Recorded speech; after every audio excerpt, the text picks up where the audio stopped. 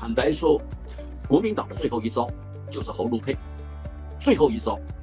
如果国民党还有胜选希望，他不会进行侯卢配。但是时势逼到最后，侯卢配就是一张国民党的王牌。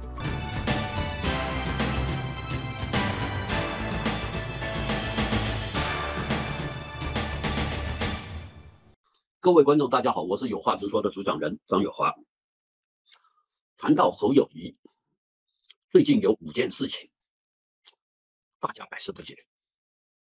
我提出来供大家作为一个参考。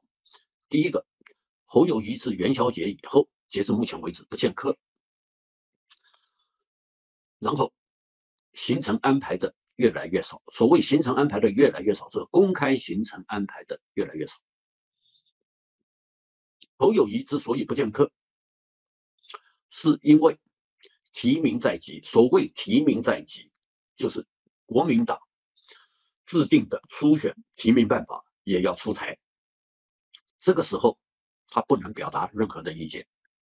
所谓不能表达任何的意见呢，是毕竟你办法没有出来以前，我怎么说都不对。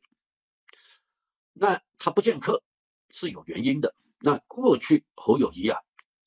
他见客的地方常在宫庙的附近啊，或者是造势场合的旁边啊，等等，他会见客的。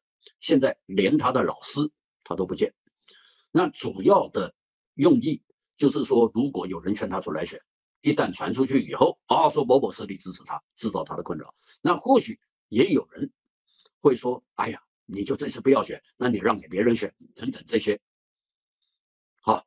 所以他不见客，不见客的氛围包含了朱立伦，包含了郭台铭，包含了其他人，其他想要见他的都见不到，就是他绝对都在公开场合说话，他绝对私下不见客，这个是非常特殊的，啊，这也可以说是侯友谊的一个谨慎之处。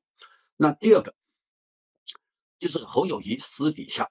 召集了马英九时代的安全团队的成员，况且见面已经不止一次，就是马英九时代的安全团队的成员侯友谊已经陆陆续续在见面了。见面他们谈的那当然是国际形势、美台关系、两岸关系等。从这个角度看，他已经在做准备。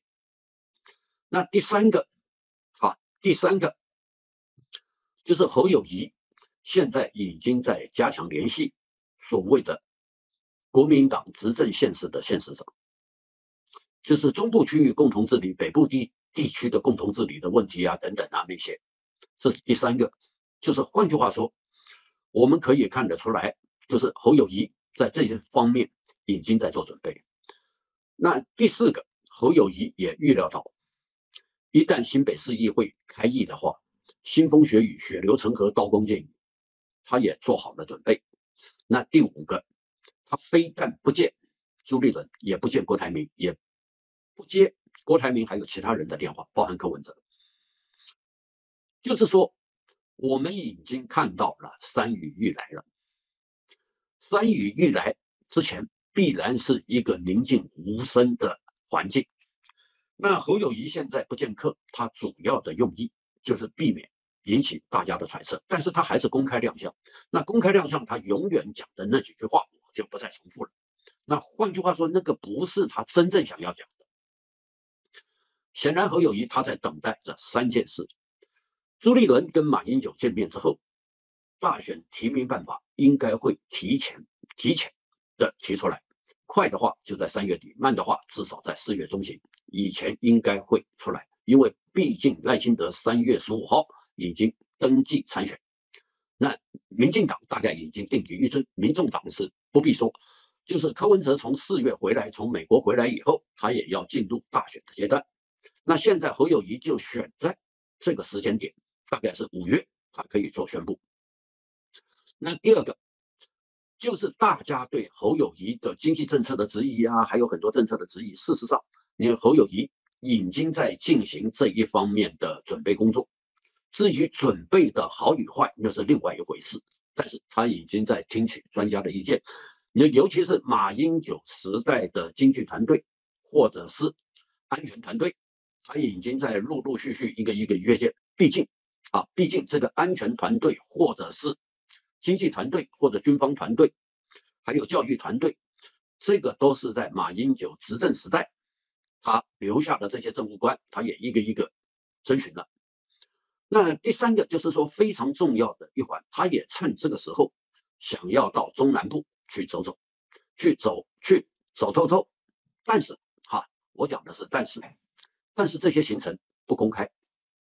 就我所知，他到中部跟南部走了已经不止一次。